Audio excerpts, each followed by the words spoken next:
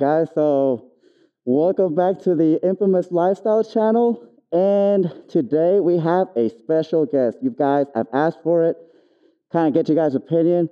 If you wanted to see this beast of a machine back out, and every time I would ask, you guys said, Yes, yes, yes, yes, we want to see it, we want to check it out. And here it is.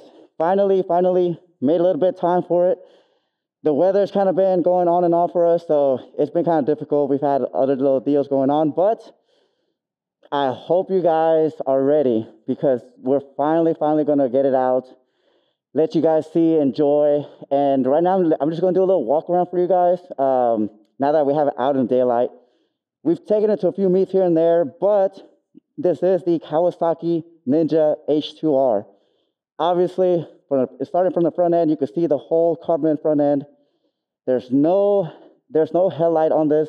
You can see the, the air filters on both sides. I mean, that just sucks in air, which this bike desperately needs. You have the carbon fiber front wheel, um, all the fi- carbon fiber, the winglets, you know, the up here for, for the mirrors, and down here on the side fairing. And I mean, look at the color, it's just a metallic green. Uh, moving from there, we've done a little bit of kind of engine protection, little protections on the bikes, um, but the exhaust. I mean, you you could get a Vandemon for a regular H2, but this exhaust only comes on the H2R. And I mean, look at it. It's just, you can't beat that titanium look. Um, from there, we went ahead and got the rear sets.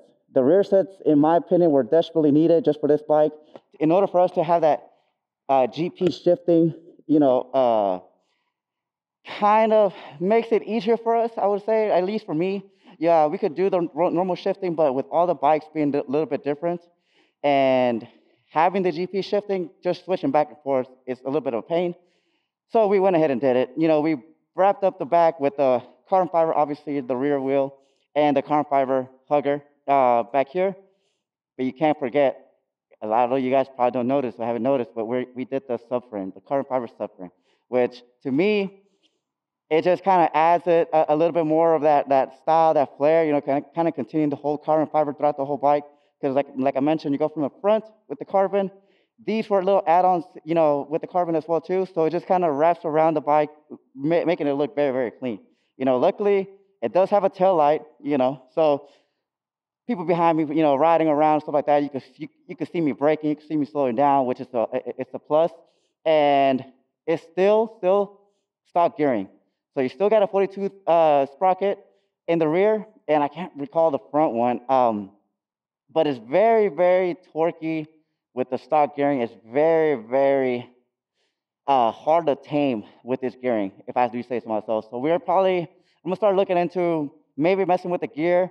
Um, a little bit later, you know, just, I just want to kind of get it out there. You know, it's just honestly, this bike doesn't get enough attention, enough love from us. So uh, just kind of get it back out for you guys to kind of enjoy it too. But we have a little other things planned for it. I'm not sure exactly where uh, we're going to go with it, but I feel like the gearing is going to be a, a one, one of the things that we might switch out on it. So I'm super excited. I mean, look at the bike. Like you can see from here to the titanium, the carbon. I mean, the way it just glows on the with the sun, it just pops that carbon out. So um, from the wheels, so it's, it's super clean.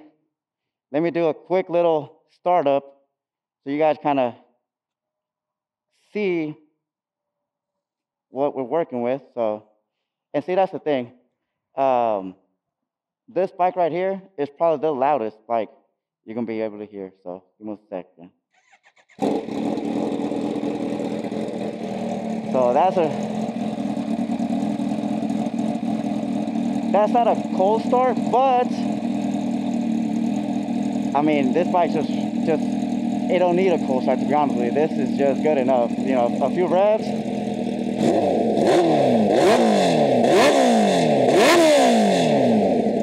Yeah, and you can see it's smoking a little bit. It is cold right now. It's probably in the 50s. So as soon as this bike starts warming up, I mean, it's gonna be a beast. So let me go get caught up with the guys, get back, see what they want to do, where we want to ride, and you guys are going to get that first uh, person or third person or put it down in the comments what kind of person experience you're gonna get. So, um, but yeah, hopefully you guys enjoy it. So stay tuned.